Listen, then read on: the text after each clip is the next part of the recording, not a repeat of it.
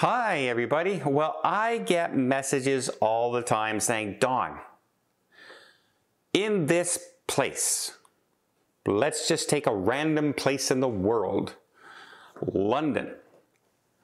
Where's a good place to stay? That's pretty vague.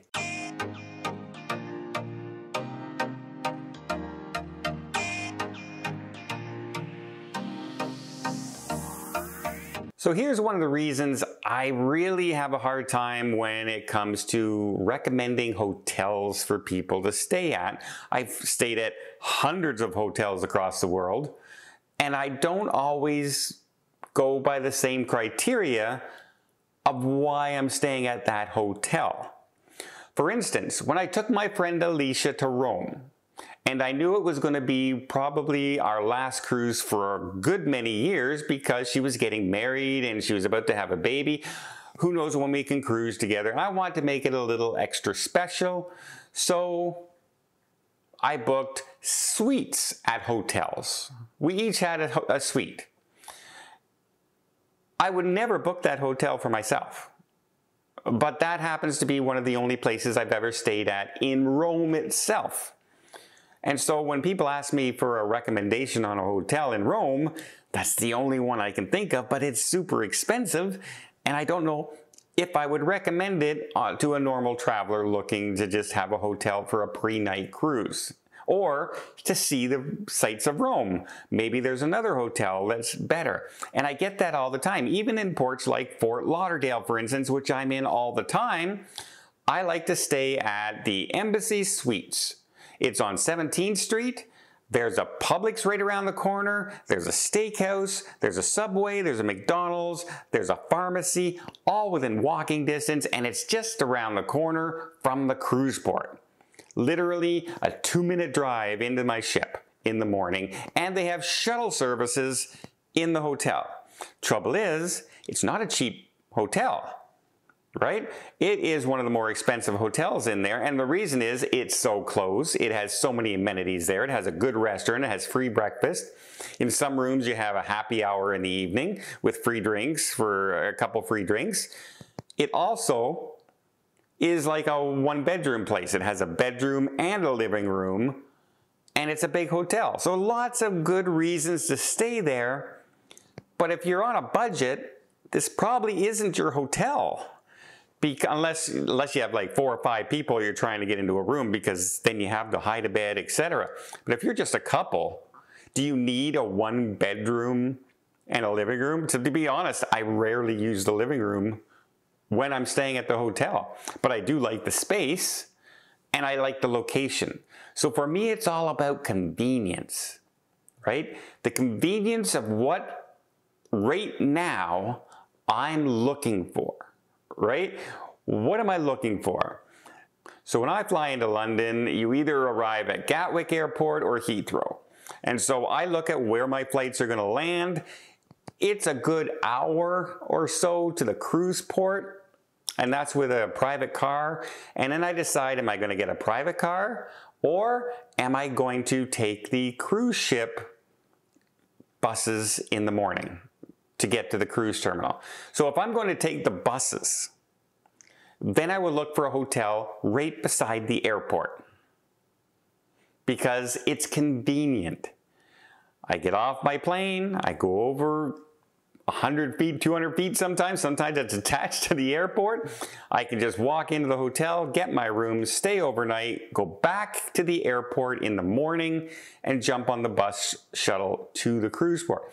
It just makes easy embarkation. It just makes things easier. If I'm staying, say, for two or three days ahead of time, and I want to see the city of London, I'll book another hotel more closer to downtown. I'll decide, do I want more room? Am I going by myself? Do I want a luxury hotel? Or do I want the cheapest economy hotel I can get? You know, a Motel 6, a Motel 8, you know what those are. Well, hmm, that's how I choose my hotel. So when I get recommendations, where should I stay? It's very, very hard, but I will usually choose convenience to the cruise port over price. I'll be honest right now. I always usually choose convenience over price. What is easiest? What is fastest? What is in a good location for this trip? So if I'm going to Seattle, people ask me, hey, where do I want to stay? I was asked this by our friends that are coming with us on this group cruise. And I would say, well, I would stay at the, the Waterford or I would stay at the Marriott Waterfront. It's right there near the market. It's right near there near the Battleship Museum. It's, it's right in by the cruise port. In fact, one of the hotels is facing Norwegian's cruise terminal. That's how convenient it is. But if you're asking where I would stay if I'm on a budget, I would be much further in town. And that's actually where we ended up staying because the people, some of the people we're going with at this time, some of our friends are on a budget and they said, hey, can we stay here? And I said, yes. And we will find our way to the cruise port the next day. If I was on my own, I'd be staying at one of those two hotels strictly for the convenience.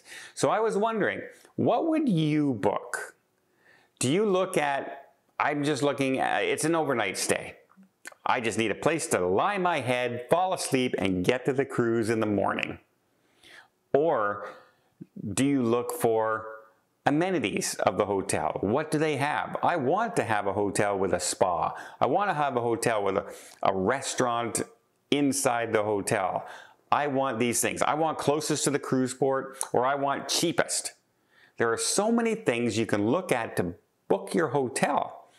And that's why, again, like I'm saying, I have a hard time specifically telling people without getting a lot of information. So like if you're on a group cruise with me, I will sometimes send out, here are three or four hotels, and I'll list the average price of the hotel and a little tagline of why you should stay there. This hotel is near the airport. You can get back, take the shuttle directly to the cruise port in the morning. This hotel is right near the cruise port. It has this, it has this, it has this. It's good for sightseeing, etc., etc., etc. I'll list a few things. But to be specific, and a lot of people assume I've been to every hotel in the world. uh, you know, I've been asked, hey Don, in uh, Bangkok, I want to go and see this specific place. Would you recommend this hotel, this hotel, or this hotel? I've never stayed at any of those three hotels, but they assume I kind of have.